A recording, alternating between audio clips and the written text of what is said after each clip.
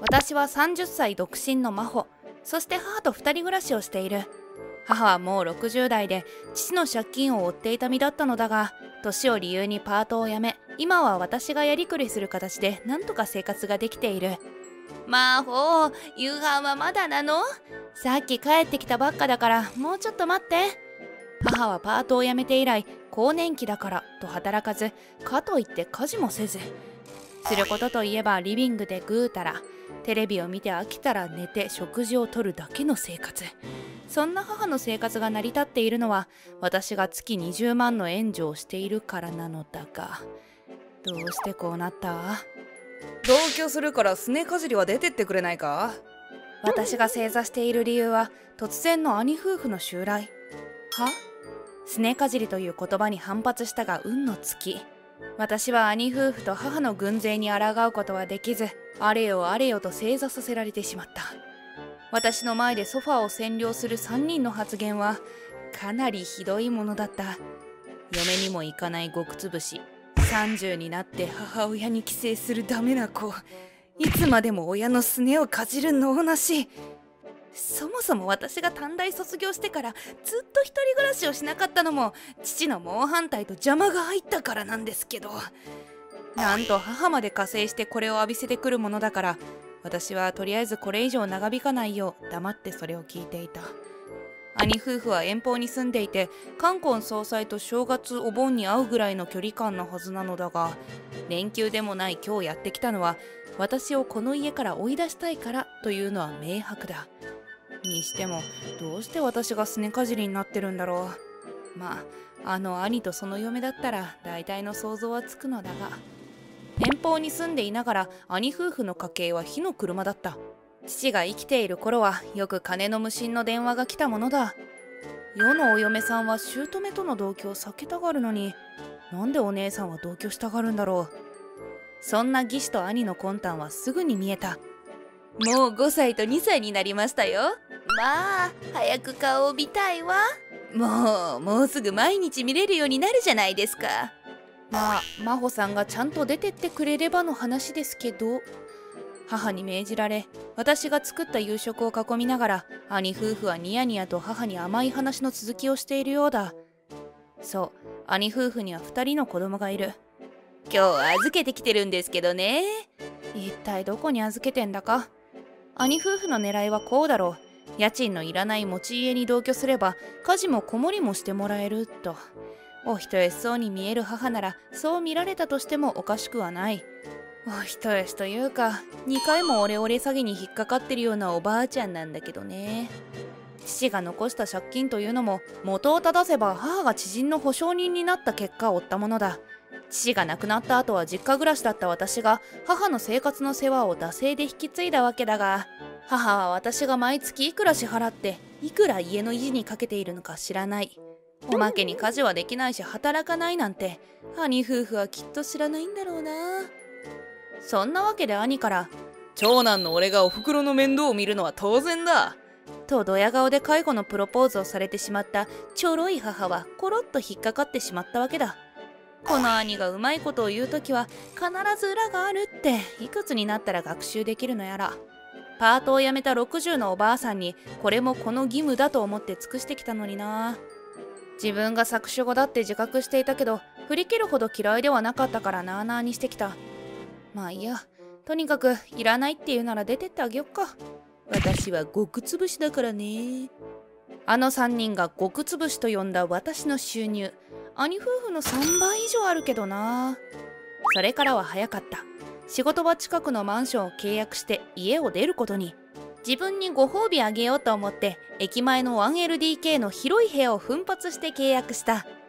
さてここからはすねかじりで極つぶしな私の復習タイムだ。あそれもお願いします。まず引っ越し屋さんに頼んで自分の稼ぎで買った家電全てを持って出た。これ見よがしに3人の前で運び出したのでそれはそれは大盛り上がり。ちょっと泥棒。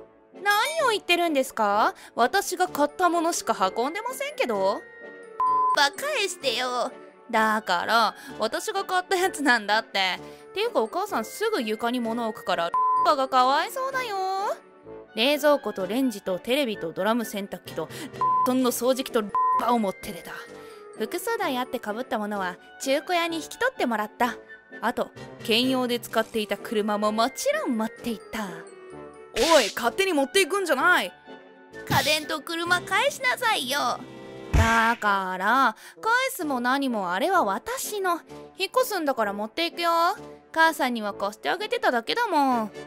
車に関してはかなりの痛手だったらしい。だって兄夫婦はこっちに引っ越すってことで持っていた車を下取りに出しちゃったって聞いていたから3人とも車がないと暮らせないってことはこの家の立地からして想像にたやすいこれじゃどこへも行けないじゃないか。っていうか家電もないんじゃどうすんの？さあお母さんが何とかしてくれるんじゃないの？私は電車通勤で仕事で取引先を回るときは車用車を使うからあんまり乗らないんだけどそのくらいの報復は許されるよね。正直開放感ではっちゃけそうになった。っていうかはっちゃけた。母がアレルギー持ちだったから飼えなかった。お猫様もお招きした。お猫様かわいいよ。お腹すいたの？ご飯今あげるからね。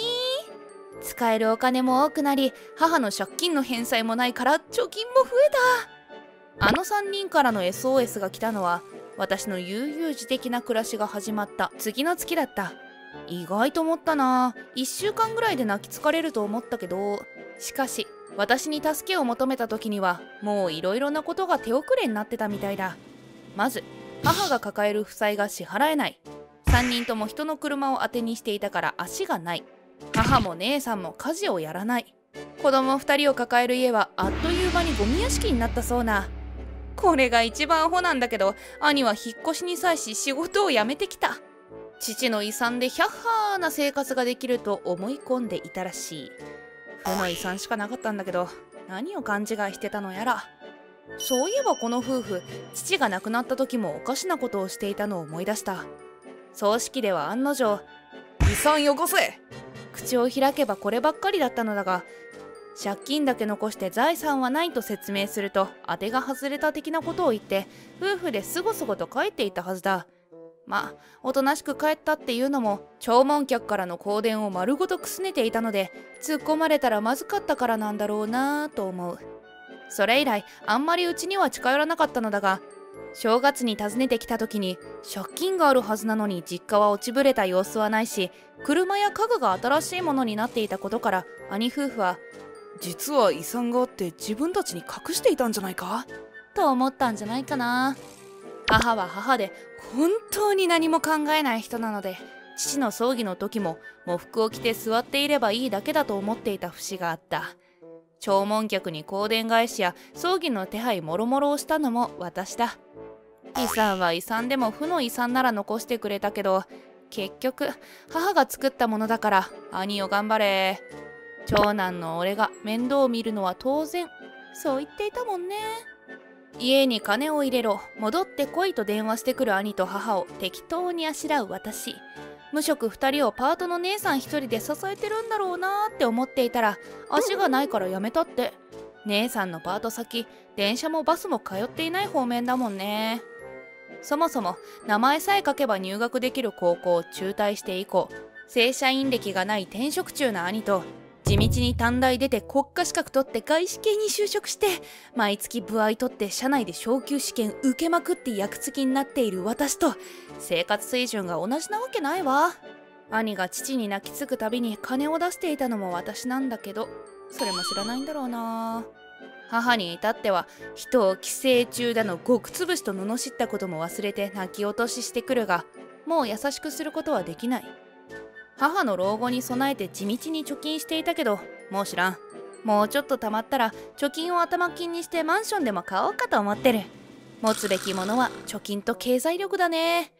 自分とお猫様を養うだけでいい一人暮らし最高！やっと携帯を変えて連絡を絶ったのであの3人のことはもう知りません。